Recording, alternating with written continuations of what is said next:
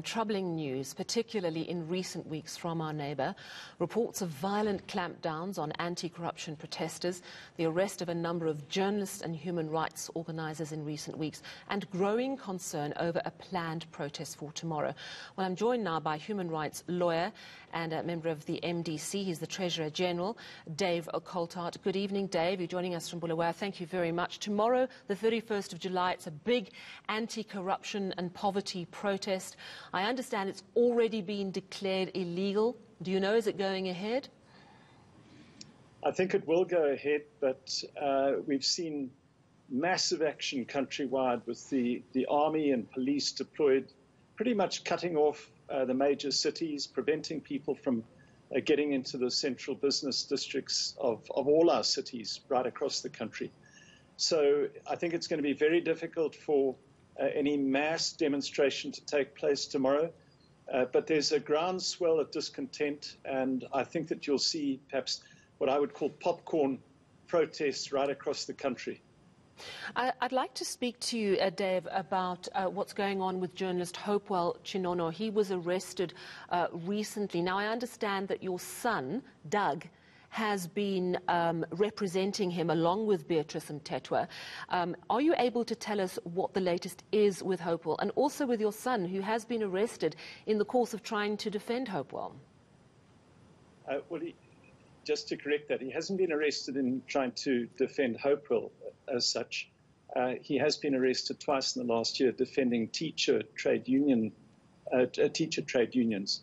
But uh, coming back to, to Hopewell's case, uh, Beatrice Mtetwa is the lead counsel. My son is junior counsel in the case. Uh, it was the bail appeal before the High Court was meant to be uh, argued today. The state said that they weren't ready, and so it, it has been postponed again.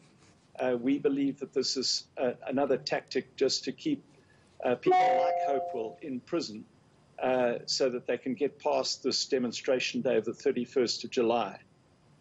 What charges is Hopewell facing? Uh, he's uh, fa- the main charge he's facing is a charge of trying to uh, incite uh, violent demonstrations. Uh, of course, the, the, charges are completely spurious.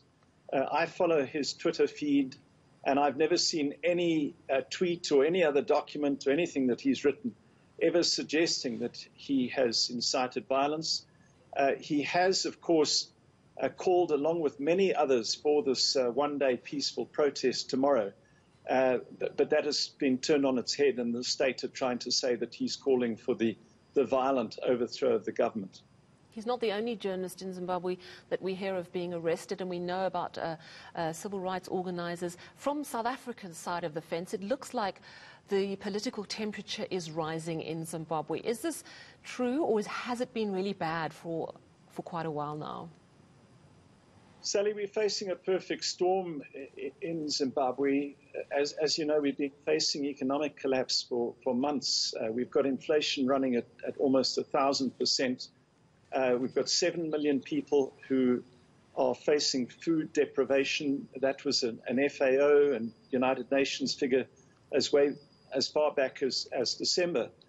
Uh, and then on top, of, on top of all of that, we've had uh, revelations of massive corruption in the last four months, uh, particularly corruption around the uh, misuse of COVID funds, which has really angered people.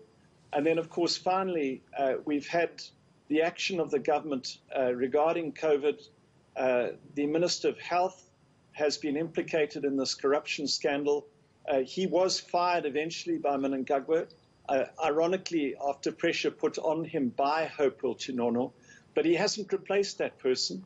And our hospitals are totally ill equipped. We have doctors and nurses on strike. And so we have, we have the combination of all these factors, which uh, has been building for months now. Uh, and, and really, it, it's, it's reached this uh, extreme crisis that we face uh, right across the country.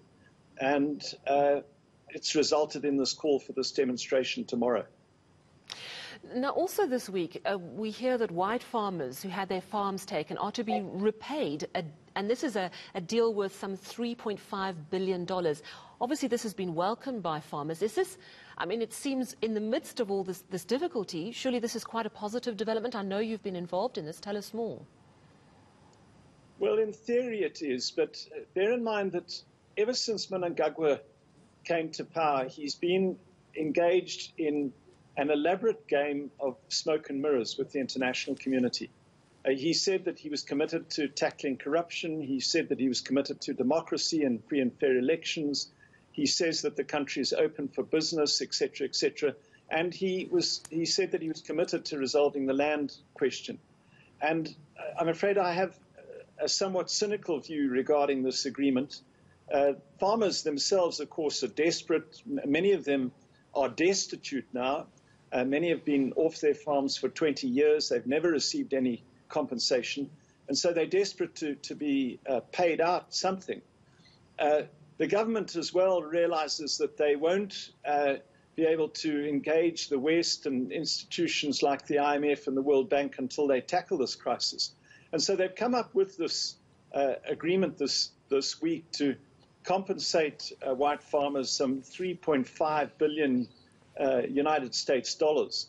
It, it, sounds good, but the question I have is where's this money going to come from? Uh, we can't even pay our teachers in the country, so uh, one is hard pressed to understand where they're going to find the money to, to pay uh, white farmers.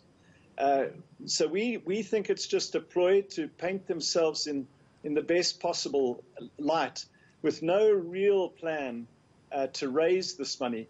You know, until they um, tackle some fundamental issues in Zimbabwe, for example, giving title to land, they are not going to be able to finance this amount.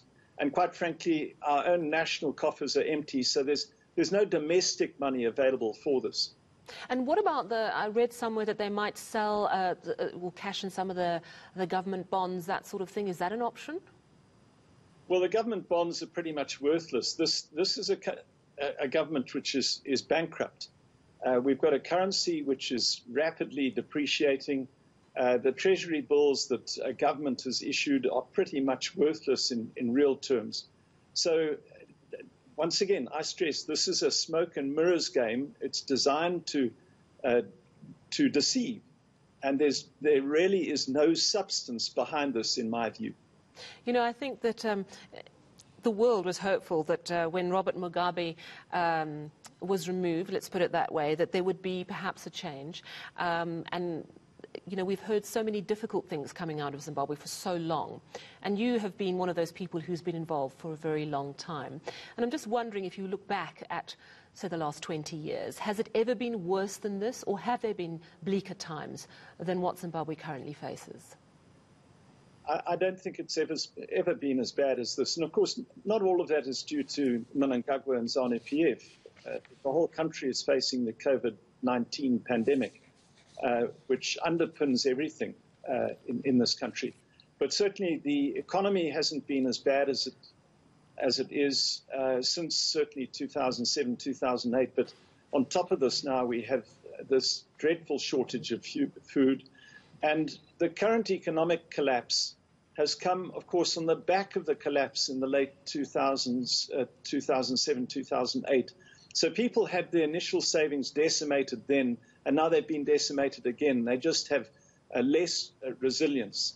And then on top of that, uh, quite frankly, Mnangagwa's been far more brutal than Mugabe. Uh, in, in, my view, his government is far worse. It seems astonishing to say that, but it is worse than Mugabe. Uh, and, and, so you've got this unique, unprecedented uh, combination of events, and, and arguably the country is in the worst state it has been since independence. Dave, you were saying that uh, you know your son Doug, who is uh, the junior counsel helping Beatrice uh, Mtetwa to uh, defend Hopewell Chinono, who's still in prison.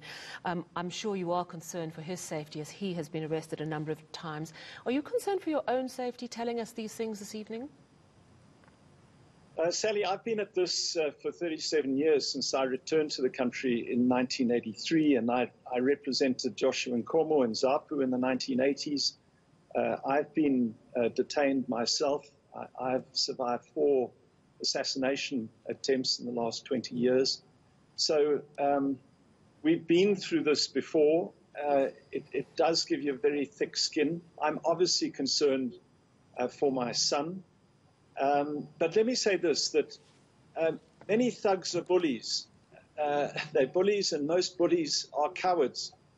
Um, and ironically, uh, whilst it's not absolute protection, interviews even like this are a measure of, of protection uh, because uh, this regime tends to go after the marginalized, the people who have a lower profile. And that, of course, uh, gives me some protection and my son uh, some protection.